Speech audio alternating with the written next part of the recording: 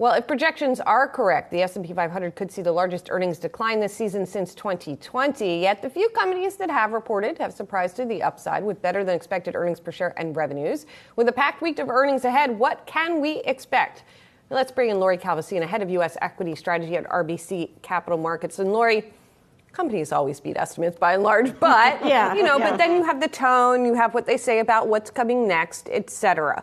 So we've been asking a lot of people the question about whether the bar is high or low coming into this earnings season? So I feel like from a sentiment perspective, the bar was low. Um, if you look at forecasts for 2Q, 3Q, and 4Q, they've all been drifting down. So we don't have a lot of optimism about the out quarters. A lot of the you know sort of movement to raise this year's numbers has come from the beats that have come in so far. So I do feel like if things are better than feared, um, and I think that's really potentially something that could happen on the margin front. I think people are having a very, very tough time forecasting margins right now. Um, then I think you could could see, you know, some good feeling come out of this reporting season. That doesn't mean it's going to be sustainable through the end of the year. Um, I do think, you know, we're a bit above my target, so we, we are looking for some pullback at some point, but I don't think you're going to necessarily get it right now. So not right now. Then when are you expecting to see a pullback? So one of the things we're watching really closely closely are sentiment indicators for both individuals and um, institutions. And so we watch the CFTC data on the institutional side, asset manager positioning and e-minis. That's kind of like seventh inning. Um, you know, there could always be a rainout, right? You could always go extra innings, but it's getting elevated, but it's not quite at that hold your nose and sell signal yet. Um, you know, to kind of put it more specifically, if you look at individual investors on the AAII net bullishness data, they do that survey every week as well. That's been around 15% on the four week average. 30% on the four week average in favor of the Bulls is where you get nervous. So that's another late innings indicator, but not necessarily, you know, kind of bottom of the ninth. You know, speaking of where we are, one of the charts in uh, a recent note of yours caught my eye, which had to do with how the S&P 500 does during recessions and also in advance of recessions, yeah. right? And so what did stocks anticipate and when?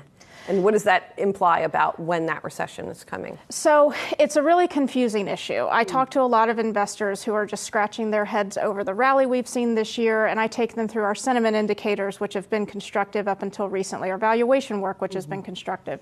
And they say, okay, fine, but if we're having a recession, how could the market possibly have priced it in before a recession even started? And historically, mm. you do see the market bottoms about four and a half months before the recession is over, after it's already underway. So you get that mid recession pivot it. You know, but people are right on this point. And, you know, what I've told people is you have to think about what kind of recession this is, if we even get it, by the way. I don't think it's a foregone conclusion. Um, and so we've been pointing a lot of people back to 1945, which was when you had a pivot out of a wartime economy to a peacetime economy. Yes. 1945, I've done this study multiple times. I've been a strategist for 20 years. I can never figure out the decline in the market associated with that recession.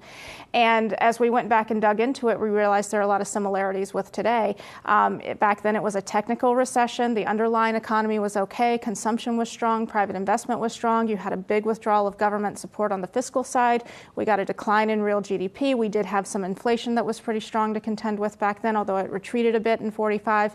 But the more and more you look at it, the more and more similarities you can find. And we've said, look, you know, people keep pushing back on the idea of a recession because they say, well, the consumer data is still pretty strong. Companies' earnings are still beating. That's sort of similar to what we saw back then. I think the market can be mature enough, um, you know, to kind of use that term to say, okay, if this really is just sort of a technical recession that we have to endure to get back to normal, maybe we don't need to have a big disaster in the market. You said if we even get one and it's not a foregone conclusion, what is your analysis baking in? Is it baking in a recession now? Our earnings data actually is, and our valuation model is. So we layer in consensus forecasts as tracked by um, you know one of the major news organizations out there, and it's got negative GDP on a quarter over quarter basis baked in for the latter part of this year and has for some time.